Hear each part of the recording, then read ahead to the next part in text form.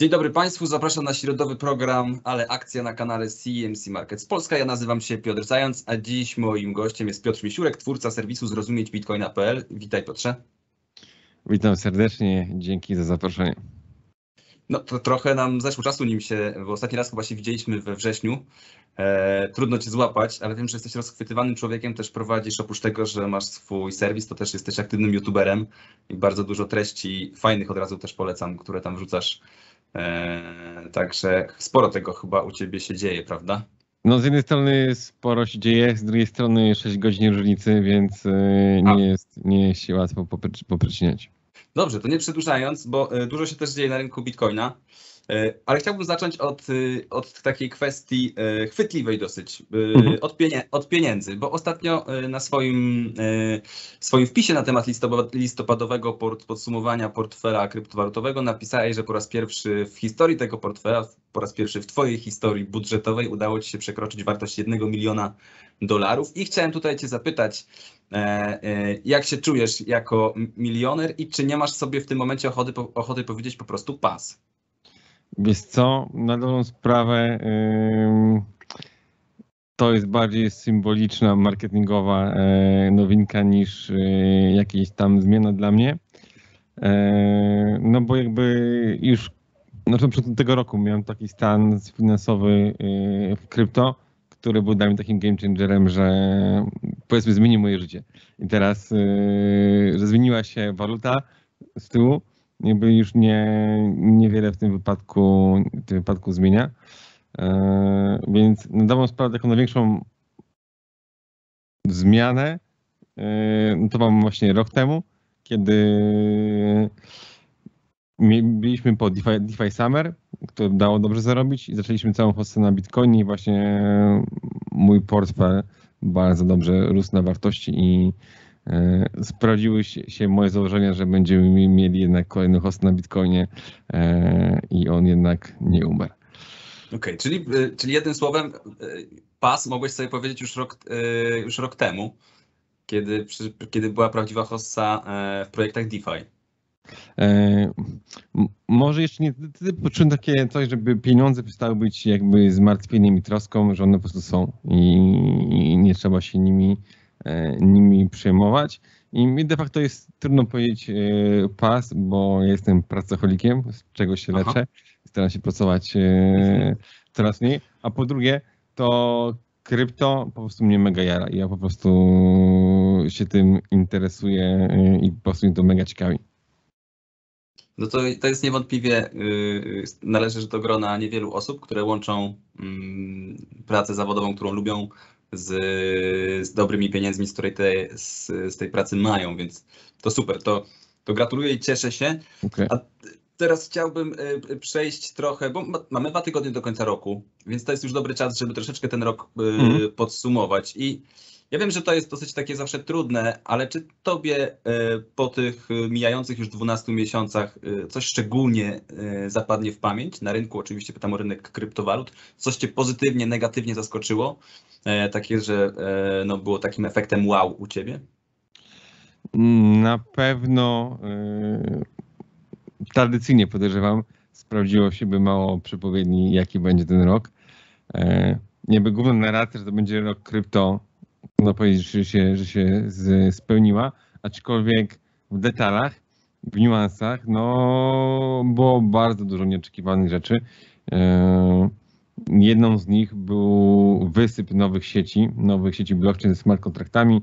To zaczęło się właśnie rok temu na przełomie e, poprzedniego i tego roku z Binance Smart Chainem. Potem był Polygon i teraz mamy tych sieci kilkanaście czy kilkadziesiąt. Na każdej mamy kilkanaście, kilkadziesiąt projektów, więc e, myślę, że to, co się zmieniło, to to, że rynek jest teraz tak duży, że nie da się go już ogarnąć w całości.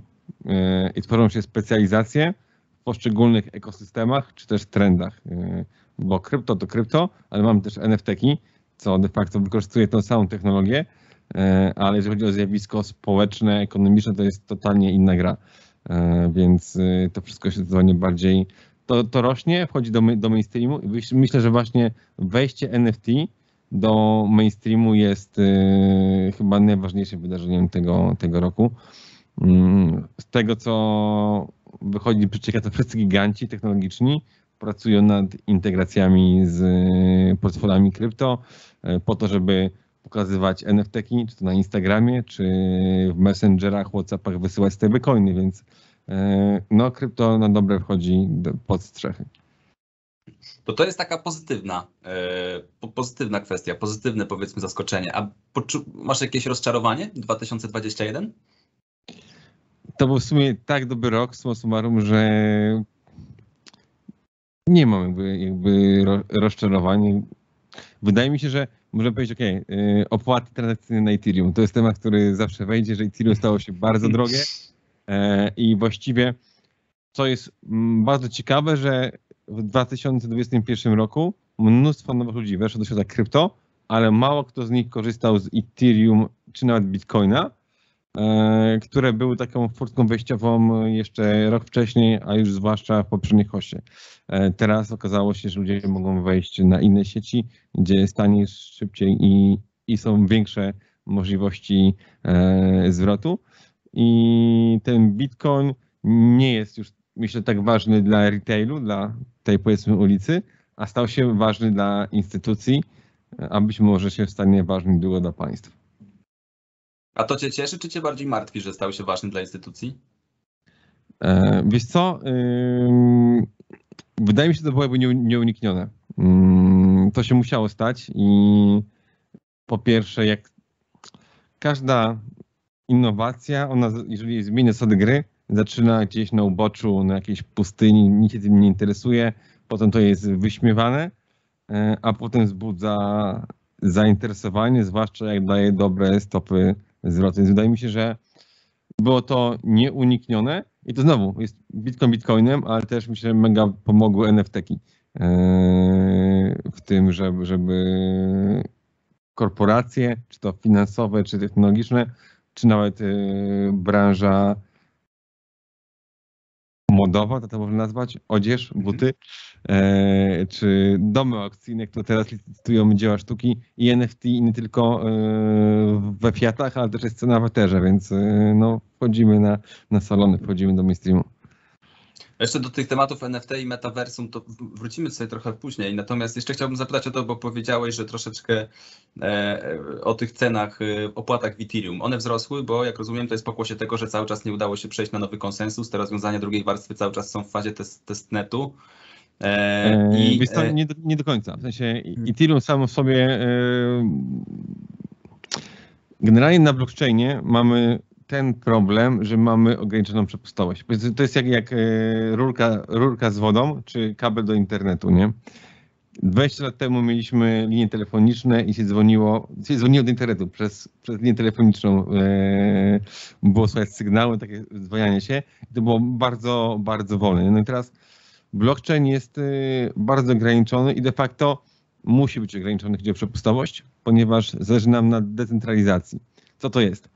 To jest y, taka struktura budowy sieci, która sprawia, że żaden z uczestników nie ma nad nią kontroli.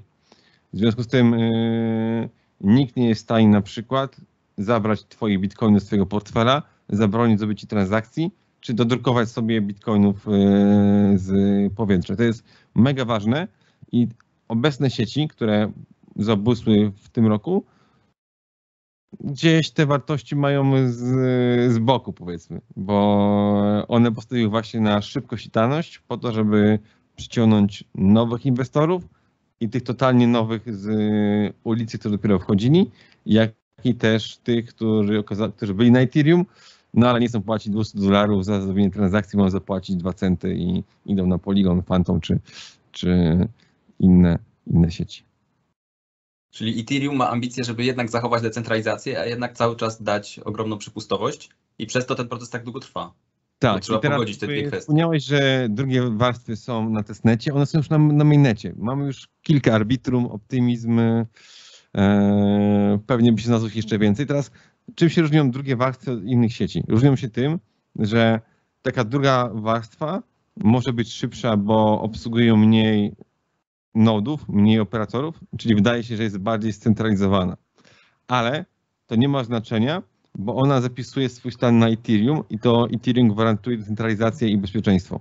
E, a inne sieci po prostu mają swój własny łańcuch, gdzie zapisują informacje i nie korzystają w ogóle z Ethereum. I to jest największa różnica. Ja trochę porównuję teraz do, że Ethereum to będzie bank centralny, e, a drugie warstwy to będą jakby banki komercyjne, e, interfejsy wejścia dla użytkowników właśnie mm, indywidualnych, gdzie za teraz zapłacimy dolar, dwa, trzy, no i nas na to będzie stać. Natomiast na transakcje na Ethereum będą kosztowały dziesiątki, setki dolarów, no i zwykłego człowieka to stać nie będzie, ale nie będzie musiał tego robić, bo będzie korzystał z tych drugich warstw banków komercyjnych i jak one spróbują coś odwalić, to może się odwołać do bezpieczeństwa e, Ethereum, gdzie ma zapisany swój stan portfela i powiedzieć nie, to, to jest niewłaściwa transakcja, ja tu mam dowód na Ethereum, że mój stan był taki, teraz wracam z tego banku komercyjnego i ten bank komercyjny nie jest w stanie powiedzieć, nie, nie możesz tego zrobić. Więc to jest jakby e, największa e, różnica i wyzwanie przed drugimi warstwami, żeby być szybkim, a jednocześnie nie poświęcać decentralizacji i wolności, którą gwarantuje ona użytkownikom. A te drugie warstwy, które wspomniałeś, Arbitrum na przykład, to są, yy, to są osobni dostawcy, to są inicjatywy inne, nie, nie spod skrzydeł Witalika Buterina. Tak, to są yy, generalnie yy, sam rozwój Ethereum jako Ethereum. To nie jest Vitalik Buterin i, i, i kilku jego ziomków, tylko to mhm. są różni ludzie z różnych projektów, którzy pracują razem. To jest idea, idea totalnej otwartości i wolności. I to nie jest, że jest jedna firma czy jedna fundacja, która tym pracuje, tylko są projekty, które są bazują na Ethereum e, i część z tych projektów poświęca się tylko i wyłącznie rozwojowi Ethereum e, na tej bazie konsensusu, a część projektów ma jakby swój własny produkt, ale też e, część zasobów poświęca na pracę nad wspólnym dobrem, czyli, czyli nad rozwojem Ethereum. Okay, czyli to taka demokracja blockchainowa działa w praktyce, można powiedzieć. Tak, dokładnie tak. I to jest fantastyczne, że różni ludzie mają różne pomysły na to samo. I mają wspólny cel, idą różnymi drogami, po drodze wymieniają się informacjami nawzajem, bo wszystko jest open source, jest otwarte. No i skoro mamy, nie wiem, kilkanaście różnych zespołów, które idą w różną stronę, to miejmy nadzieję, że któryś z nich dojdzie tam, gdzie, gdzie powinien. A czy dwa, te dwa procesy, czyli ta kompatybilność drugich warstw różnych, plus to przejście na proof of stake, to, to one dzieją się równolegle i muszą się zbiec, zbiec się jakby w czasie później? Znaczy w sensie takim, że to będzie miało jeden finish, czy to są jakby dwa różne osobne światy? To są dwa osobne światy, które dzieją się równolegle, aczkolwiek one sobie nawzajem pomogą. Ty, zwłaszcza w kontekście tego, że drugie warstwy finalnie zapisują informacje na Ethereum, więc muszą płacić transakcje e, na Ethereum, co jest drogie. I teraz jak przyjdziemy na Proof of Stake na Ethereum, a potem zrobimy sharding, czyli podzielimy sobie Ethereum no powiedzmy na dzielnice, to będą dzielnice mieszkalne, gdzie będzie w miarę drogo, jeżeli o transakcje. Będzie downtown, Manhattan, gdzie będą właśnie wszystkie protokoły DeFi mieszkały i tam będzie drogo, a też będą obrzeża na magazyny, gdzie będzie tanio. I właśnie z tych magazynów będą korzystały drugie warstwy, no bo one nie potrzebują wchodzić w interakcje z innymi uczestnikami e, Ethereum, tylko potrzebują, mają paczkę danych, którą chcą zapisać na Ethereum, po to, żeby użytkownicy mogli e, łatwo wyjść z ich, ich drugiej warstwy, nawet bez zgody samych twórców. Więc to po prostu jest paczka, którą trzeba gdzieś zmagazynować i będą takie szardy, które będą tanie w użytkowaniu i dzięki temu korzystanie z drugich warstw będzie, będzie tańsze, bo obecnie one nie są najtańsze, są dużo tańsze niż Ethereum, ale jak ktoś na przykład ma do wyboru korzystanie z Solany, czy Fantoma, czy Matika, Polygonu, no to tam zapłaci jeszcze mniej, więc y, sporo ludzi się kieruje tylko i wyłącznie ceną i wygodą, nie patrzy w ogóle na decentralizację, no bo z nią trochę jest jak z poduszką powietrzną w aucie. Póki jej nie potrzebujesz, to jej nie potrzebujesz. Jak masz wypadek jest potrzebna, no to czy ona jest, czy jej nie ma, to jest kluczowa różnica. To jeszcze mam dwie kwestie a propos, e, do poruszenia a propos Ethereum. E, myślisz, że połowa przyszłego roku to jest realny termin na to, że zakończy się to przejście na POS i cała ta kompatybilność, w sensie cały ten wielki ta zmiana technologiczna? Czy to się będzie jeszcze oddalać w czasie? Jak czujesz? Wiesz co, wydaje mi się... Yy Możliwe, aczkolwiek e, na Ethereum, w ogóle na blockchainie, nic nigdy nie jest na czas. Jak coś się dzieje na czas, to jest w sumie podejrzane. Eee, I generalnie ja mam background w IT. Pracując w IT, też wiesz, że w IT nie ma istnieć na czas. Zawsze e, są opóźnienia, zawsze są jakieś ostatnie poprawki. E, I, a praca nad e, konsensusem Ethereum czy nad drugimi warstwami to nie jest tylko takie zwykłe IT. To jeszcze jest mnóstwo researchu, czy masz dużo więcej niewiadomych, więc to zawsze się e, przes, przesuwa. Ale myślę, że przejście na sam proof of stake w ciągu najbliższych 7 miesięcy głowy sobie nie dam uciąć, ale myślę, że jest to, jest to możliwe. Bo to pytam też w kontekście o tym, bo jest trochę konkurencji dla Ethereum. Znaczy rozwiązania, które chcą dawać to samo i twierdząc, już są na proof of stake, twierdzą, że będą to robić lepiej, bezpieczniej, bardziej ekologicznie. Mam na myśli na przykład Cardano, czy wspomnianą przez Ciebie zdaje się Solanę. Czy to są projekty, które mogą wygryźć Ethereum? Wydaje mi się, że nie, tak... bo, bo wszystkie te... Cardano w ogóle jest taki problem, że oni dużo rzeczy obiecują, mają e, naukowe autorytety i prace, które mówią, jak to ma być wspaniałe, e, a za bardzo z tego nie wychodzi nic używa, uży, użytecznego, więc Cardano jest gdzieś cały czas z tyłu. E, mało kto z tego korzysta. Z tego, co czytałem, to są tam pewne problemy architektoniczne, że rzeczy, które na Ethereum można zrobić łatwo, tam jednak łatwo ich nie, nie można e, nie można zrobić. A z drugiej strony mamy Solanę, która jakby jest koronnym przykładem tej hossy, takim projektem, który no w ciągu, nie wiem, y, roku dał zarobić 300 razy, 400, więc yy, fantastyczny projekt pod tym kątem. Totalnie inna architektura niż wszystko inne, bardzo skomplikowany system informatyczny, aczkolwiek y, jest pytanie o tą decentralizację, nie? I czy ona tam jeszcze jej nie ma. I, I Solana jest mega fajnym przykładem, bo to jest powiedzmy masterpiece inżynierii, ale on i tak się regularnie wywala. Regularnie mamy przerwy w działalności Solany i to pokazuje mega fajny, albo nie fajny mechanizm, że nie ma sensu robić transakcji na blockchainie za darmo albo za prawie darmo. Bo jeżeli tak zrobimy, to ludzie napiszą sobie boty i wykorzystają każdą możliwą przepustowość. E, z tego co kojarzę, Solana chyba obsługuje więcej transakcji niż system transakcyjny wizy, e, czyli bardzo dużo. E, ale Każda transakcja wizy ma jakiś incentyw ekonomiczny. Ktoś komuś płaci za coś. Natomiast na Solanie ja mogę sobie zrobić e, mnóstwo botów, które będą próbowały coś zrobić. Jak im nie wyjdzie, to trudno, ja nic nie tracę albo jakieś ułamki centów, e, a jak im wyjdzie, to zarobię duże pieniądze, więc e, nie ma jakby takiej rury, której się nie da zapchać i Solana jest tego przykładem i dlatego w dłuższym terminie opłaty transakcyjne na każdej sieci będą musiały być, E, i nie będą mogły być super, e, super niskie, bo też widać, że każda sieć, e, nie wiem, typu Polygon, BSC czy Phantom, jak tam pojawi się większy kapitał i więcej ludzi, to te opłaty też poskoczyły automatycznie. To jest naturalna kolej rzeczy. Czyli na ten moment nie widzisz raczej konkurencji dla Ethereum? Na ten moment. W dłuższej perspektywie pozycja Ethereum dla mnie jest niezagrożona. Jakby na, ty, na ten moment tu i teraz inne sieci są konkurencyjne, bo są tańsze w, w użytkowaniu e, i mają incentywy w postaci swoich własnych tokenów do przyciągania płynności na ich rynki. E, no ale to jest, mamy hostę, więc e, każdy nowy projekt jest w stanie teraz przyciągnąć uwagę, zwłaszcza jak rozdaje swój token. Zobaczymy, co te projekty będą warte za 2-3 lata. Moim zdaniem stosunku do Ethereum mniej niż, niż są warte obecnie. A myślisz, że w długim terminie Ethereum strąci z, z, z piedestału Bitcoina? Jest to niewykluczone.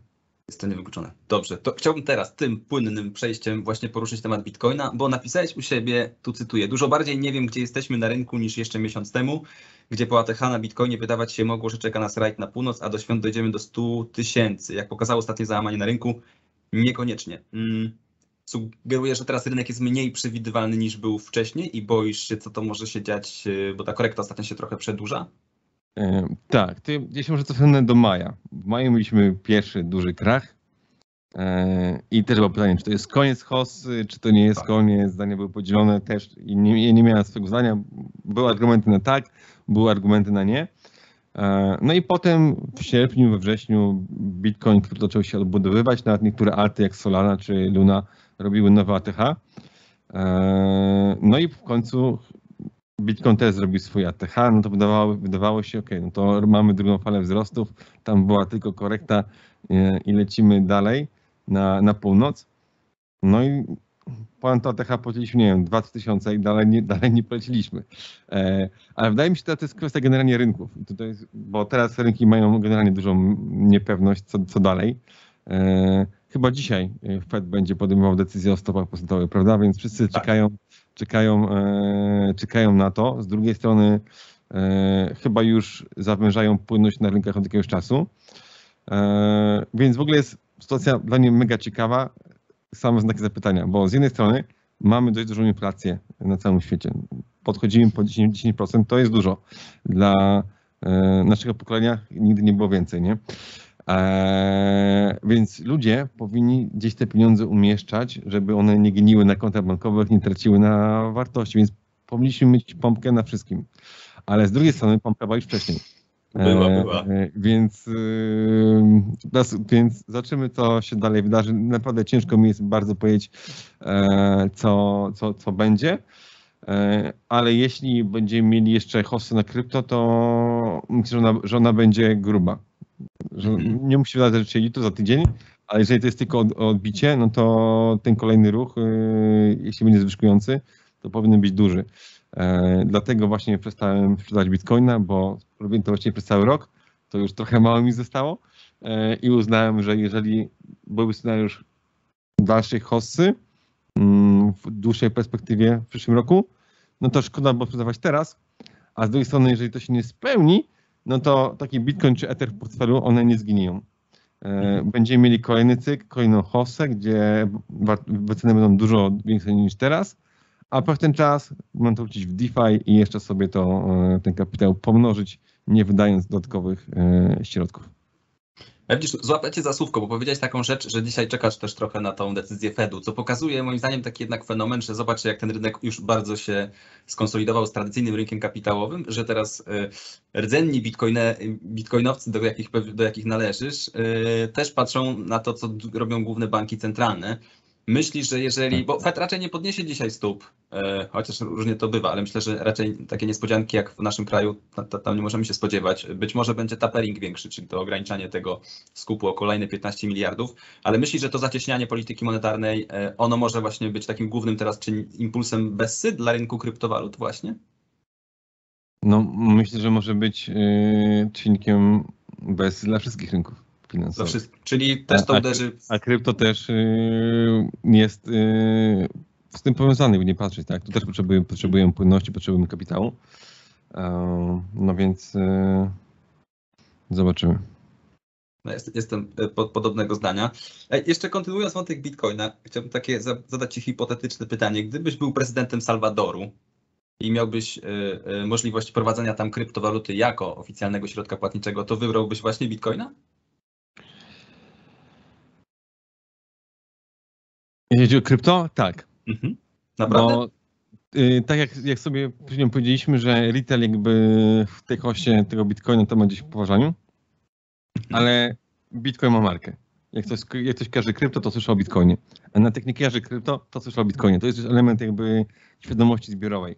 I teraz instytucje też wchodzą w ten temat. No to, no to siłą rzeczy, yy, czy to właśnie banki, instytucje finansowe też najpierw mają produkty oparte o bitcoina, potem patrzymy jak to wszystko wygląda, potem próbują z Etherem, potem jakieś topowe inne alty dopiero e, wchodzą. To jest jakby to rzeczy, że wchodzimy w to, co jest najmniej ryzykowne. I teraz e, ja nie wiem, dlaczego masz wątpliwości, że co w tym Bitcoinie jest nie tak, że ty byś podjął inną decyzję, wybrałbyś coś innego. No jako środek płatniczy, że on się nie, jednak się nie do końca sprawdza, bo jest, ma bardzo dużą bardzo dużą zmienność, jest niestabilny. E, to, to, to jest prawda, e, że jest niestabilny, ale de facto wszystkie krypto, poza stablecoinami, które de facto nie są kryptowalutami, e, tylko tokenami, e, mają tą dużą zmienność. I teraz ja powiedziałem, że teraz Bitcoin jest mniej atrakcyjny dla retailu, bo nie daje takich dużych stóp zwrotu, tam mm, razy 20, a nie razy 200 powiedzmy, nie? I co świadczy o tym, że on, on rosnąc staje się teraz bardziej stabilny. Oczywiście jak porównamy to do silnych kwiatów, czy nawet e, topowych rynków akcji, to jest dalej duża zmienność, ale ona z czasem się będzie teraz bardziej e, z, zmniejszała, więc e, ten, ten argument gdzieś będzie w czasie e, coraz Słabo. mniej prawi- prawidłowy, będzie słabo właśnie. E, a Salvador zrobił bardzo sprytny ruch, bo jak jesteś pierwszy, to musi być przed tym, zanim stanie się oczy- oczywiste. Czyli jak ten Bitcoin się już ust- ustabilizuje, e, albo cały świat będzie liczył ceny Bitcoinie, no to już będzie za późno, bo już wszyscy będą to, to robili, więc e, każda firma musi znaleźć swoją niszę.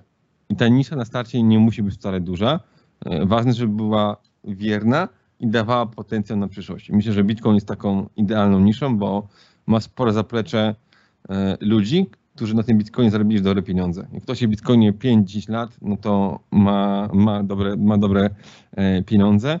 I ci ludzie często też mają swoje firmy technologiczne. Ostatnio e, już były CEO Twittera, rzucił Twittera, żeby zajmować się Bitcoinem, więc tam jest zaplecze finansowe, tam jest zaplecze technologiczne i świat ewidentnie zmierza w tym kierunku. I teraz tak jak firmy muszą konkurować, tak w XXI wieku również e, państwa będą konkurowały o,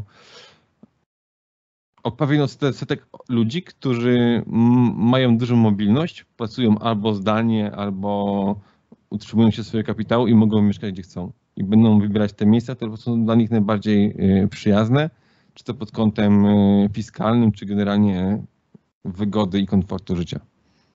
No jest, myślę, że Salwador, jak to rozegra dobrze, to nie powiem, że może będzie drugim Singapurem, ale ma podstawę ku temu, żeby budować sobie silną pozycję w nowym świecie, który teraz się tworzy, który teraz się buduje.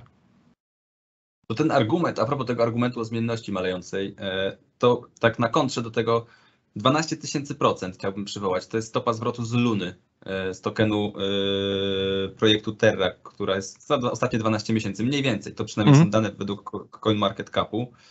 Wiem, że ty się tym projektem mocno interesujesz. E, Co środę robisz chyba takie Terra środy, w których e, omawiacie Tak, to, tak, co tam tak. się dzieje. To jest, chciałbym, żebyś nas kró- pokrótce prowadził, bo wiem, że to jest taka rodzina stablecoinów, e, które są powiązane z konkretnymi fiatami. To jest młody projekt, bo chyba jest z 2019 czy 2020 roku, a jak widać te stopy zwrotu ma zawrotne. E, Rozumiem, że skoro poświęcasz mu tyle miejsca, też masz go w swoim portfelu i chyba całkiem Oczywiście. sporą ekspozycję z tego, co patrzyłem, to rozumiem, że w niego wierzysz i mógłbyś trochę przybliżyć, no bo to jest jednak, y, jeżeli mielibyśmy chyba wybierać numer jeden, to on będzie z Solaną pod względem tych 12-miesięcznych stóp zwrotu e, ewidentnie w top 3 czy top 2. nawet No z tych roku. typowych projektów yy, to pewnie tak.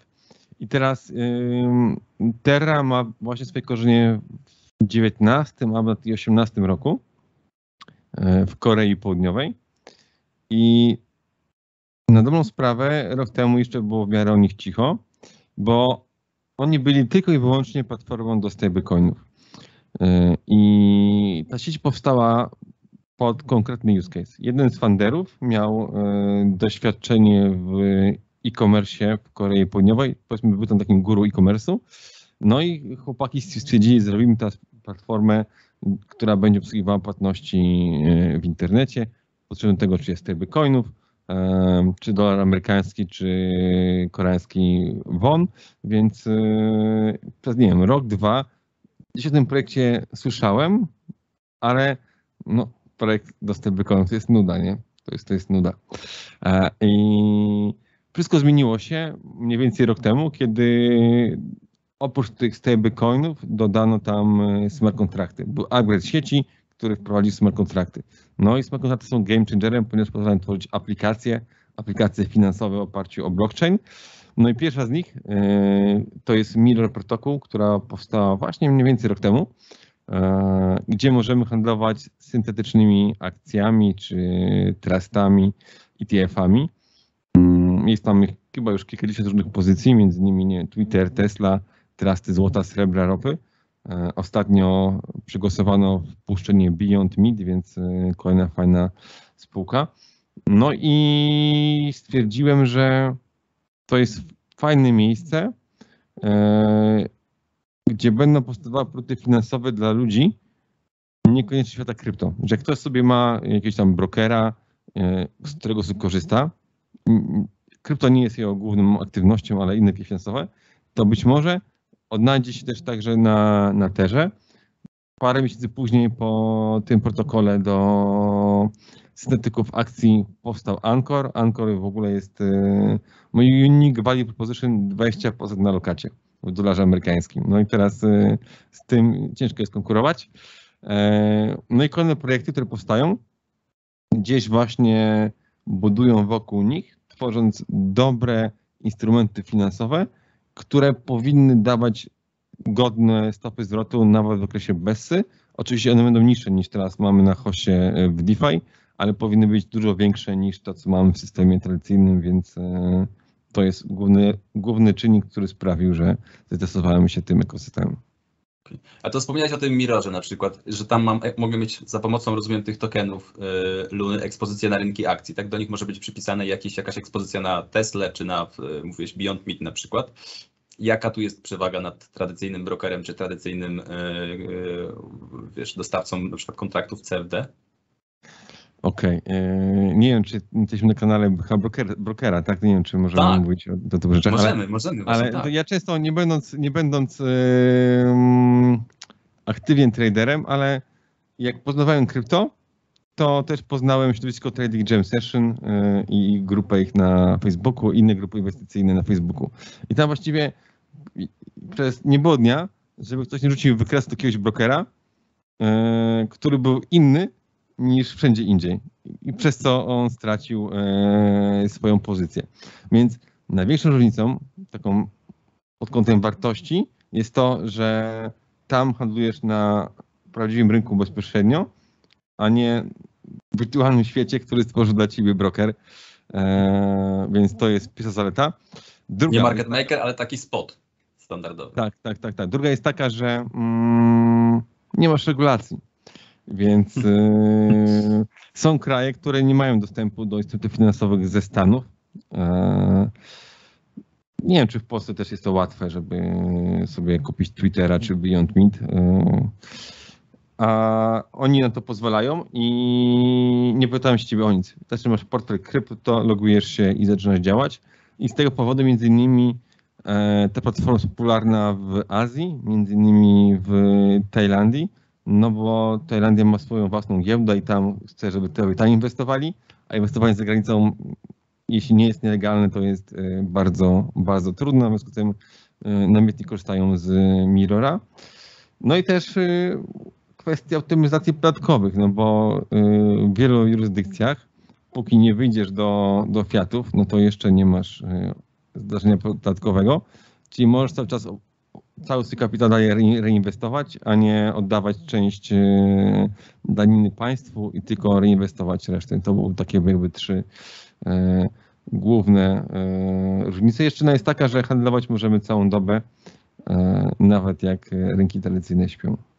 A jak jest z bezpieczeństwem? W sensie gwarancja obrotu, no i też pewnie, no bo, no tak, najpierw o to, czy, czy, czy, czy nie ma tutaj przestrzeni na jakieś, na jakieś, wiesz, na jakieś przekręty? Jak to wszystko działa? Zacznijmy od tego, że każdy z tych tokenów akcji ma pokrycie wartości większe niż e, dana akcja. Czyli powiedzmy Twitter kosztuje teraz, nie wiem, 42 dolary, coś koło tego powiedzmy, nie? Zaokrąglimy. No to na dobrą sprawę, żeby taki token mógł być stworzony, to trzeba rzucić 60 parę dolarów, czyli więcej niż, niż jest to warte. I zrobimy to na przykład w tym stablecoinie UST. Wrzucamy tego UST do skarbca, e, wrzucamy powiedzmy 65 e, dolarów i otrzymujemy sobie jednego, jedną akcję Twittera, to jest warta 42. E, I po co jest ten nadmiar? Po to, żeby właśnie jak będzie e, ruch w górę tej akcji, no to ta proporcja zastawu do akcji będzie malała i w pewnym momencie system będzie musiał upłynić zastaw po to, żeby skupić tę akcję z rynku i ją usunąć, bo ona już nie będzie miała pokrycia, więc to jest ten sam system, który działa w wszystkich protokołach pożyczkowych yy, DeFi, jak Compound Ava, więc to jakby jest, yy, nie jest to rocket science, wiadomo, że to działa. Czasami mogą się pojawić się problemy, gdy są nagłe gwałtowne ruchy cenowe, a jest problem z płynnością wtedy, ale na szczęście na rynkach akcji nie mamy aż tak dużych ruchów jak na krypto, więc tutaj jesteśmy, myślę, bezpieczniejsi. Okay. Czyli każdy, kto wchodzi na ten rynek, musi dać troszeczkę premium cenę, żeby e, dać ten zastaw. Co? E, nie do końca, bo są osoby, które drukują te akcje i oni muszą dać ten zastaw nadmiarowy, ale ty nie musisz tego drukować. Ty możesz skupić na rynku. E, I na rynku ta cena powinna być mniej więcej taka, jaka jest na rynku tradycyjnym, aczkolwiek zwyczaj jest drobne, drobne premium, procent 2 czy czasami nawet 5, e, jakie jest duża, duże zapotrzebowanie, to jest rynek nie jest jakiś super płynny. Tam pewnie jest powyżej miliarda dolarów e, na wszystkich aktywach, no ale to nie jest super duży kapitał, więc to odklenia się jeszcze jakieś tam e, mogą zdarzać, ale co jest super fantastyczne, to ty możesz sobie teraz stwierdzić tak, a może będzie e, krach finansowy, nie? I warto wyjść do cashu z rynku. A może te złoto pójdzie do góry. To możesz sobie wrzucić swoje środki do UST stablecoina na Ancora, gdzie masz 20% w skali roku. I tą swoją lokatę użycie jako zastaw e, w Mirorze, czyli masz lokatę, twój kapitał generuje zysk 20% rocznie i to wszystko służy jako zastaw pod stworzenie na przykład tokenu trustu e, złota. Czyli generujesz sobie 20% na kapitale, które wykorzystujesz też e, do stworzenia kolejnego instrumentu, tym wypadku ekspozycji na, na złoto. Myślę, że to jest fantastyczne. Okay, czy to jest taka kryptowalutowa inżynieria finansowa trochę, tak to brzmi. Ale z tego, co mówisz, płynność jeszcze nie jest tak. duża, a czy to zainteresowanie rośnie? Ona się zwiększa? Coraz większe, bo czy to jest atrakcyjne dla, dla inwestorów, zwłaszcza tych, którzy, tak jak powiedziałeś wcześniej, bo to jest fakt, z wielu krajów nie mają łatwego dostępu do zagranicznych rynków. Czy to się zwiększa? Wiesz co, tutaj jest, yy, są dwie kwestie. Jak ktoś jest kumaty w krypto, no to on sobie to zrobi ręcznie takim portfelem kryptowalutowym i jak ma silną potrzebę, bo na przykład nie, mo nie ma swojej innej możliwości, to to zrobi. E, ale są pewne bariery wejścia, więc e, na dawną sprawę najlepszą metodą wejścia, czy to taką lokację 20%, czy na Mirrora, to są fintechy, które już mają swoich klientów, mają swoje aplikacje, które pod spodem mogłyby korzystać z tego typu rozwiązań. Teraz jeżeli chodzi o Ancora, to takie rzeczy już, już się pojawiają na rynku. Z Mirrorem to ta trwa trochę wolniej, ale między innymi ten koleżka, co założył Street Bets, yy, stworzył też aplikację na BSC, yy, która pod spodem korzysta z yy, właśnie tokenów i płynności z Mirrora. Mhm. Czyli jeszcze potrzeba jest teraz takiego ułatwienia zdjęcia tych barier wejścia, żeby to było po prostu bardziej użytkowe. Czyli to w zasadzie cały problem. To jest bardziej kwestia mm, przyzwyczajeń, no bo teraz wejście w świat krypto jest pewnym challenge'em. I teraz jak ktoś wchodzi w świat DeFi obecnie, to poznaje Metamaska i wszystkie sieci Ethereum podobne. I przejście z Ethereum na BSC, na Polygon, na Fantoma, Arbitrum, to jest właśnie to samo. To, to są dwa kliknięcia i, i tyle. Natomiast Terra to jest inna technologia, inny portfel, który też wymaga e, znowu podjęcia decyzji, że wchodzę w coś nowego i się muszę z tym oswoić. Podobnego, ale jednak e, nowego, więc tych barier trochę, trochę jest, ale wydaje mi się, że yy, podobnie się mówiło o internecie 20 lat temu, że kupowanie przez internet to, to, to jest w ogóle niewygodne, niebezpieczne, a teraz kupują wszyscy. Czyli odpowiadając na moje pierwsze pytanie, 12 tysięcy procent w, rok na Lunie, to jest zasłużona stopa zwrotu? Myślisz, tak yy, zasłużyła na, to, zasłużyła na ten, na ten, ten, znaczy projekt? Ja, ja myśl, myślę, że tak. Mm, jak dla mnie wycena Luny jest e, za niska nadal. E, więc jeżeli Bitcoin pójdzie na północ, to jeszcze możemy sobie ten, ten te, te, procenty pomnożyć. Okay. E, chciałbym jeszcze jeden wątek, jeszcze dwa wątki mam. Metaversum. Okay. O ile dobrze przejrzałem twój, e, twój portfel, nie ma tam żadnego przynajmniej stopowych projektów, które mnie się kojarzą. Czy ty jesteś sceptycznie nastawiony do tych projektów e, e, właśnie świata VR-owego, świata 3D na blockchainie? Absolutnie nie, uważam, że to jest przyszłość. Ale zanim odpowiem ci, to mam pytanie do ciebie. Mówiliśmy chyba we wrześniu. Czy wtedy zmowiliśmy o metaversie? Hmm, chyba nie, chyba tylko o tokenach NFT. E, No właśnie, wtedy o metaversie nikt, nikt jeszcze nie rozmawiał. No, zrobiło się głośno, jak Mark metaversu jeszcze nie istniało.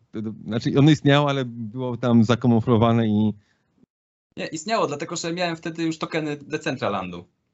Ale Okej, to a, bardziej tak e, spekulacyjnie. tak. Miałeś tokeny, ale też jakby y, bardziej się mówiło o trendzie NFT w kontekście tego projektu niż o trendzie Metaverse. Że ten trend, w ogóle zobacz, jakie do, teraz dokonano y, znakomitych rebrandingów krypto. Y, NFT, które i tak ma lepszą reputację markę, ale połączono to właśnie z wizją y, Zuckerberga i to my też robimy metaversy, nie? I jesteśmy super, dlatego metaversy. I tak samo krypto, które w tym świecie establishmentu się kojarzyło nie najlepiej. Już nie jest krypto, teraz jest Web3. Yy, I Web3 od razu każdy jest na tak, i, bo to jest przyszłość internetu, więc yy, myślę, że to jest kwestia trochę rebrandingu i też hype'u. I teraz ja stwierdziłem rok temu, że nie będę się interesował NFT, że nie starczy mi czasu i głowy na to, yy, ale wiedziałem, czy wiedziałem, miałem tezę, że ten trend będzie rósł i chciałem się na to robić ekspozycję. E, I kupiłem sobie ETF-a. E, Token, który jest indeksem różnych e, projektów. E, To jest token Play od e, PyDAO i on pod spodem ma m.in. właśnie Land, e, Sandbox, Axie, jakieś tam cyberpunki, e, skarpetki Uniswapa i coś tam jeszcze. Aha, czyli masz tą ekspozycję, ale taką szerszą, taką zdywersyfikowaną i Tak. troszeczkę tylnymi drzwiami. A, E, a wracając do tego trendu, jako takiego myślę, że to jest przyszłość Metaverse i wielu ludzi tego nie, nie czuje, bo to nie doświadczyła, tylko widziała po jakiejś tam prezentacji, że to jest sztuczne i nienaturalne, żeby być w goglach i przeżywać świat, ale czy naturalne jest siedzenie 5 godzin przed telefonem? No nie, a Nie. każdy to robi. E, I myślę, że to jest trochę podobnie jak e, było z Kindlem. 10 lat temu, jak miałeś czytnik e-booków, wszyscy mówili, no nie, ja wolę papier, ja wolę, ja wolę prawdziwą książkę, nie? E, Aż nagle ktoś z domowników sobie kupił, albo dostali w prezencie i o, jakie to jest fantastyczne, nie ma świata bez tego, więc myślę, że podobnie będzie z metaversem. Jak ktoś już tego doświadczy, to już e, będzie chciał przeżywać, bo tam będziemy mieli możliwość przeżywania interakcji międzyludzkich pełniej niż yy, w formie tekstowej, czy tylko wideo, jak my sobie to rozmawiamy, więc myślę, że świat będzie szedł w tym kierunku. I teraz kwestie, nie moralno-społeczne, czy to się zakończy, są otwarte, e, ale wydaje mi się, że w perspektywie dekady to będzie jeden z największych trendów. I wcale się nie należy spieszyć wchodzenie w ten trend, no bo teraz mamy na to hype, i mamy powiedzmy dotcom bubble na, na metaverse. E, Nie wiemy generalnie, które są rynki fin- finansowe, czy to krypto, czy wszystkie inne, ale jestem pewien, że w ciągu pięciu lat e, będziemy mogli kupować też taniej niż teraz. E, I też będzie łatwiej, bo część projektów poumiera, no i będzie łatwiej wybrać to, co jest wartościowe, oddzielić ziarno od plew. Okej, ale myślisz, bo yy, no wiemy tak, Mark Zuckerberg wszedł, z, z też zrobił rebranding, rebranding Facebooka, ostatnio Bill Gates mówi, że yy, to jest kwestia dwóch, trzech lat, że wszyscy się będziemy spotykać, nasze konferencje takie e, służbowe będą się odbywać w świecie, e, w świecie wirtualnym, czyli mamy tych gigantów technologicznych, którzy wchodzą w ten świat. Moje pytanie jest takie, jaką rolę tutaj odegra e, świat kryptowalut? Czy takie decentralandy na przykład przetrwają, czy to Wiesz, czy To to, one zaproszą Facebooka, czy, czy Facebook po, potem, wiesz, jednak zagospodaruje to na, na, na własne podwórko, na własnym podwórku to zrobi? To jest bardzo e, ważne pytanie. W prezentacji Marka Zuckerberga słowo otwartość, e, budujmy metaverse razem, interoperacyjność padało parę razy i za każdym razem myślałem, co on tak naprawdę ma na myśli. E, Czy otwartość, chodźcie wszyscy, korzystajcie z naszej platformy, ale nie, nie was z niej nie wypuścimy, czy też prawdziwą otwartość, że będzie można te asety sobie przenieść z metaversu e, Facebooka na inne, bo de facto metavers, który nie będzie otwarty na inne, nie jest metaversem. Jest, jest, jest jakiś tam ekosystem. De facto metavers to jest zbiór różnych rozwiązań, które są nawzajem właśnie połączone. I teraz jak ja bym chciał to widzieć i wydaje mi się, że Mark jest skłonny pójść w tym kierunku. E, wydaje mi się pod kwestią doświadczeń, no to Big Tech bije krypto na, na głowę. Oni mają miliardy kapitału, dekady research, żeby stworzyć te technologie sensoryczne, że doświadczenie nam dać na, na wysokim poziomie. Ale co jest fundamentalnie ważne, to żeby ta warstwa prywatności, tożsamości i wartości była otwarta e, i oparta o otwarte sieci jak Ethereum. Więc mi się wydaje, że jak meta będzie już bardziej zaawansowana, to oni stworzą e, swój layer 2 na Ethereum, żeby tę otwartość zapewnić. I mam nadzieję, że tak będzie. I słuchając Zuckerberga i czytając to, jak on mówił o metaversie 5 lat temu, jak mówi teraz, to wydaje mi się, że jest to prawdopodobne. To ciekawe, do, w sensie e, tak, podoba, podoba mi się ta wizja, że, e, że duże korporacje znajdą taką lukę, przez którą będą mogły lukę właśnie dla świata. No, no, bo, no bo patrz, no bo jeżeli oni nawet y, tego nie, nie zrobią, to będziemy mieli kopię YouTube'a, kopię Facebooka, tak. jeżeli, jeżeli chodzi o wolność słowa na przykład, tak? A teraz mamy te działania cenzurujące największe w historii y, i teraz one oczywiście nie wynikają pewnie z ideologii, ale druga kwestia jest taka, że reklamy. Jak jest reklamodawca, to chce mieć e, konserwatywny content e, i tam e, emisję reklam, a nie coś kontrowersyjnego, więc jeżeli damy pełną kontrolę tym metaversom, wielkim korporacjom, to one będą podstawiały dokładnie te same polityki społeczności jak teraz i będą musiały to robić, bo będzie do tego prawo.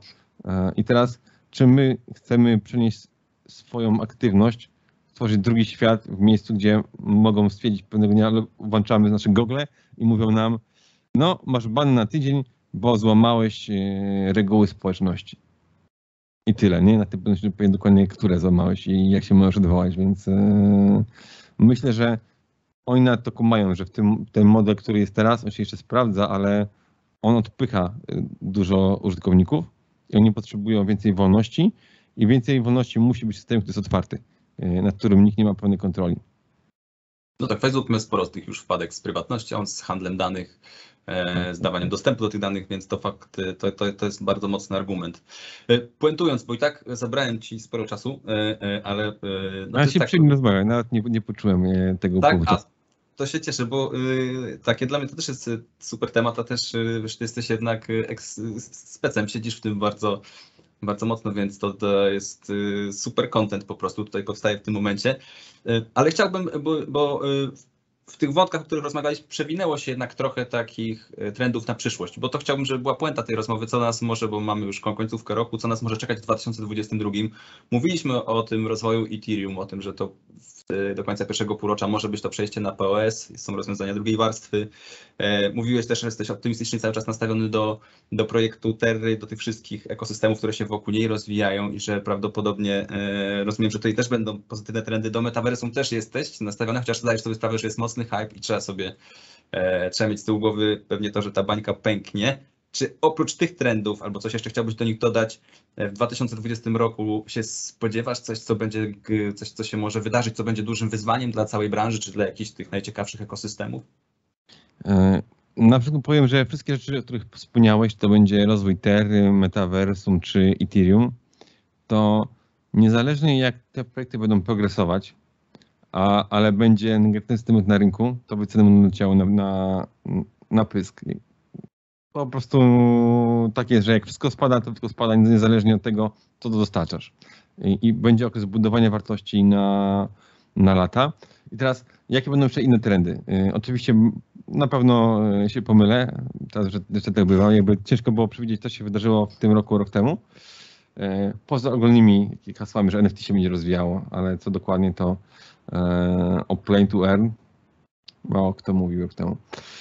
Ale wydaje mi się, że produkty blockchainowe będą wchodziły do mainstreamu. Będziemy mieli NFT na Twitterze, na Instagramie, będziemy mieli stablecoiny na Messengerze, Whatsappie, nie wiadomo gdzie jeszcze. Pewnie też niektóre takie fintechy mm, nie crypto native będą integrowały produkty finansowe oparte o DeFi, może właśnie Ancora, zobaczymy. E, wydaje mi się, że w związku z tym drugi trend to regulacje. Właśnie. że tutaj e, establishment bankowo-rządowy będzie starał się na tym położyć swoją rękę, żeby przypadkiem zbyt dużo się nie zmieniło. I tutaj wracamy do decentralizacji, bo czy to drafty regulacji w Stanach czy w Unii Europejskiej mówią, ok, mamy takie i takie regulacje, ale jeżeli twoja sieć jest, yy, jest yy, możesz udowodnić, że na tym nie masz kontroli, jest właśnie zdecentralizowana, to te regulacje nie mają zastosowania. Yy, więc wydaje mi się, że w przyszłym roku może się okazać ważne, czy jesteś naprawdę DeFi, czy tylko korzystasz ze sloganu DeFi, a pod spodem masz wszystkie guziki i sprawujesz pełną kontrolę nad, nad protokołem. E, zwłaszcza jak będzie dalej e, rósł hype, bo wiadomo, że jak jest hype, no to jest, interesują się wszyscy, w tym regulatorzy. E, jakby teraz zaczął się nagle Bessa, to może temat przycichnie i wróci za 4 lata. No zobaczymy, jak to będzie się rozwijać. Aczkolwiek myślę, że stablecoiny będą regulowane bardziej na pewno, no bo one zostaną, zostaną z nami niezależnie od tego, co będzie z Bitcoinem i innymi krypto. I banki czy spółki technologiczne będą je integrować do swoich aplikacji. No, chyba już się pojawiły głosy z przedstawicieli SEC-u albo amerykańskiego kongresu, że stablecoinami się trzeba zająć, bo oni po prostu widzą, że to jest niebezpieczeństwo, jako zagrożenie dla, dla, dla, dla, dla dolara, dla walut fiat. Tak, znaczy de, de facto, jak się dobrze spojrzy, to to jest szansa dla dolara, bo główne stablecoiny, właściwie typowe stablecoiny są stablecoiny dolara. Ich tam jest, nie wiem, 5 czy 6, ale każdy jest do dolara. I w krypto to, to jest najsilniejsza pozycja, ona jest silniejsza niż dolara w handlu międzynarodowym e, tradycyjnym, gdzie ona spada cały czas, więc e, na dobrą sprawę w interesie Ameryki jest to regulować w taki sposób, żeby tego nie, nie zburzyć. Nie? Aha, tak, bo to w tym sensie, że to cały czas podtrzymuje jednak tą hegemonię dolara, tylko tak, w świecie tak, tak, tak. Tylko w nowej warstwie, nowej technologii. Nowej technologii, okej. Okay. A to jeszcze to ostatnia kwestia, która się często jest, jest podnoszona w mainstreamowych, w mainstreamowych mediach, energochłonności bitcoina. Bo ostatnio hashrate wrócił już do tej pozycji sprzed wykopania górników z Chin. E, znowu mamy rekordowe zużycie energii no i podnoszą się głosy, bo to już do coraz większych państw się porównuje. E, jak ty się na to zapatrujesz? Myślisz, że to jest przeszkoda dla, dla Bitcoina? Myślę, że to jest e, problem narracyjny. Mm, osoby, które o tym mówią, nie rozumieją tematu. Ja też nie jestem ekspertem, ale trochę poczytałem, trochę posłuchałem. Tutaj polecam kwarantannę z Bitcoinem w piątki. Lech Wilczyński czy Benton, oni często mówią o kopaniu. Lech właśnie ma też jakiś projekt związany właśnie z energią odnawialną i kopaniem Bitcoina. E, I to nie jest taki oczywisty problem, że o, Bitcoin spala mnóstwo e, energii i to jest bezużyteczne. Po pierwsze, no, ta energia mm, jest jakby podstawą tej wartości. Zabezpiecza wartość, yy, którą niesie Bitcoin. No i jaka jest wartość Bitcoina? Jest to aset finansowy, na którym żaden rząd, żaden kraj, żadna korporacja nie ma kontroli. I takie coś jest w czymś rewelacyjnym. Jeżeli ktoś ma jakiekolwiek poglądy wolnościowe, yy, nie ma zaufania do rządu, a historia pokazuje, że nikt nie powinien mieć, bo rządy zawsze zrobią to, co jest w ich interesie, a nie w interesie obywateli w dłuższej perspektywie, no to istnienie Bitcoina jest po prostu rewelacyjne, że, że, że on jest. Po drugie, on też jest wykorzystywany w celach proekologicznych, na przykład y, przy wydobyciu ropy mamy pewne odpady y, z metanu i do tej pory to po prostu szło w powietrze.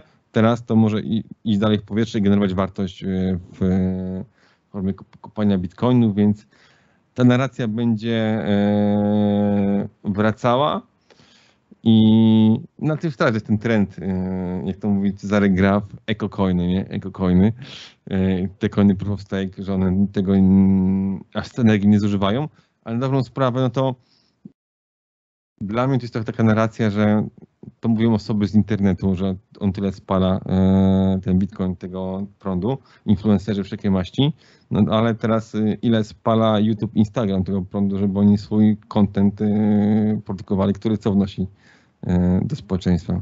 Może byśmy nie potrzebowali, nie? Ta- Tak, tylko że to już wchodzimy w taką dyskusję, że e, a, ty, ty to masz tak, a ja mam tak trochę, wiesz, a mi chodzi o to, czy... Nie, to chodzi o to, żeby- Zrozumieć, E. że ten Bitcoin ma wartość i warto zapłacić za niego pewną cenę, nie? tak, właśnie, bo o to, o to mi chodzi, to jest, czyli musimy ponosić taki koszt za to, że mamy jednak e, walutę totalnie pozbawioną centralnego zarządcy, że mamy walutę, która spełnia tę ideę wolności. Tylko pytanie jest takie, czy my możemy e, skorzystać z in, inaczej świadczyć o jej wartości niż tak, e, wiesz, e, ob- obciążający klimat sposób. Nawet ja wiem, ja polecam to w tym miejscu trochę reklama tego, tego kanału, bo kiedyś był to Jacek Kubiak, który wyłożył e, e, bardzo dobrze No tą no kwestię energochłonności, więc polecam. Niestety miał mało odsłon. Wielu, wielu ludzi się ten Polecamy wiesz- Jacka. Jacek jest y, mega bitcoiniarzem, tam siedzi głęboko w tam niuansach, więc y, tak, tak, tak. Tak, on, on świetnie to wyłożył, spoko, tylko właśnie jest pytanie o to, czy, ca- bo to cały czas i tak jest dosyć spory koszt w świecie, gdzie rosną te trendy ESG, zrównoważonego rozwoju eko. Pytanie, czy, czy Bitcoin nie powinien nawet dbając o swoją przyszłość, nie powinien szukać innych rozwiązań, czy to jest w ogóle możliwe? No nigdy nie mów nigdy, ale wydaje mi się, że na chwilę obecną w społeczności bitcoina nie ma poważnej dyskusji, czy przypadkiem byśmy nie przeszli na proof of stake, więc wydaje mi się, że to jest... e, Tego nie można wykluczyć, ale nie stawiałbym e, na, na to w najbliższym czasie. No to nie masz takich obaw, że ta narracja mimo wszystko e, będzie lekceważyć takie głosy jak Jacka i e, może dobić Bitcoina, tak jak to zrobił Elon Musk, nie? Wspomniałeś, to jest narracja i teraz tak. I ta narracja się może za chwilę zmieni, bo mamy wysokie ceny energii w Europie i może zaraz Europa stwierdzi, że ten klimat to może ostawmy na boczną e, drogę, bo ważne jest, żeby było ciepło w domu, nie? Więc e, ta narracja też się, też się może zmienić, ale patrząc jakby z drugiej strony, to świat nie działa tak, że coś jest e, jednoznacznie e, negatywne. Nawet jeżeli popatrzymy na Bitcoina, uznajemy, że on nie ma wartości i tylko konsumpcja energii, że to jest jedna rzecz, którą on robi, nie? To to zjawisko samo w sobie też nie jest yy, tylko wyłącznie negatywne. Dlaczego? Ponieważ ci krwiopijcy, yy, którzy go kopią i marnują tę tę energię, oni chcą to, to robić jak? Jak najbardziej wydajnie, czyli yy, optymalizują sprzęt, elektronikę, żeby zużywała mniej tej energii, co ma plusy, no i też szukają yy, nowych yy, tanich złóż y, dostępów do energii. No i w świetle obecnych regulacji często te tanie to oznacza właśnie odnawialne. Bo ja, ja to raczej zadaję te pytania i drążę trochę temat, trochę uszczypliwie, dlatego z troski o Bitcoina, bo wydaje mi się, że to jest tak wrażliwy temat, że e, to może być gwóźdź do trumny, dlatego że łatwo, jeżeli będziemy nawet o tym, co o tym wspominałeś, ceny energii będą rosły, łatwo będzie banować Bitcoina, uderzając właśnie w ten jego słaby punkt. Nawet jeżeli ludzie, którzy, ale to wiesz, oni się, krytycy często się nie liczą z, z faktami, prawda? No po prostu uderzają w czuły Oj, punkt. tak. Czu, punkt y, to, to jest czuły punkt energochłonność, więc to w tym kontekście mówię. I być może, wiesz, gdyby y, wyprzedzając trochę przyszłość, może warto szukać już jednak jakiegoś, jakiegoś y, sposobu wyjścia z tej sytuacji, bo to będzie pięta Achillesowa Bitcoina. Tak mi się wydaje. To mam takie pytanie. Czy słyszałeś o, o KlimaDAO? I Madao? Y, nie. O właśnie, i to jest ciekawe, bo to jest projekt oparty o Polygon, czyli w ogóle sieć Proof of Stake. y, Olympus. Olympus na pewno kojarzysz Olympusa. Mhm. Okej, no to, to, jest, to jest fork Olympusa, ten sam model y, stakingu, tylko że zamiast wrzucać jako depozyt, jako, jako bond stablecoiny czy krypto, wrzucamy kontrakty, certyfikaty węglowe. Idea jest taka, że skoro ten protokół ma dać mi duży zysk za to, że ja tam założę kontrakt węglowy, to te kontrakty będą coraz droższe na rynku. E, Co sprawia, że jak ja je tworzę, czyli robię działanie dobre, zarobię na tym więcej pieniędzy, będę robić więcej dobra. A jak ja je kupuję, żeby pokazać, jak jestem dobry, e, to będę musiał płacić coraz więcej, to może poszukam innej technologii, żeby nie musiał ich kupować. I, więc to jest działanie krypto ku polepszeniu sytuacji klimatycznej. Ale o tym się nie mówi e, jeszcze przynajmniej w e, mainstreamie. Mam nadzieję, że dożyjemy czasu dyskusji w Dzień Dobry TVN, gdzie najpierw zmieszają e, bitcoina z botem, że spala lasy i zabija planetę, a potem powiedzą, że klimat dało to kompensuje i jest w sumie fajnie. Ale fajnie byłoby, gdyby Klimadao był jakąś częścią, wiesz, przy aplikacjach bitcoinowych na przykład, nie wiem, na takiej zasadzie, że byłby bezpośrednio powiązany z taką rekompensatą energetyczną, wiesz, właśnie z projektem Bitcoina, bo to jest osobny byt zupełnie. No, może wiesz, może kopalnie będą skupowały certyfikaty i, i tworzyły klima. No zobaczymy. To jest potencjał, jest potencjał do narracji, tylko pytanie, czy taka narracja w ogóle jest. No, czy w tej dyskusji yy, Bitcoin jest zły dla klimatu, chodzi nawet o klimat, czy chodzi o sektor finansowy, który się po prostu boi Bitcoina, nie? Trzeba, e, e, przydałoby się zorganizować taką debatę przedstawicieli właśnie świata Bitcoina, przedstawicieli świata finansów i e, na przykład Gretę Thunberg jeszcze między nimi. ja oczywiście żartuję, to by było, e, to by było za grube pewnie. E, Dobrze, to ja y, y, oczywiście nie wyczerpałem, ale e, powiedzmy, że wyczerpałem wszystkie wątki. Piotrze, mam nadzieję, że Cię nie zamęczyłem. I ja bardzo dziękuję Ci za, za rozmowę. Myślę, że super content dla naszych widzów. Ja również dziękuję. Bardzo ciekawa rozmowa. Miałem plan zostać pół godziny, zostałem godzinę, więc yy, myślę, że było warto. Dobra. No to w takim razie dzięki i e, życzę e, samych udanych e, inwestycji. Dzięki i nawzajem.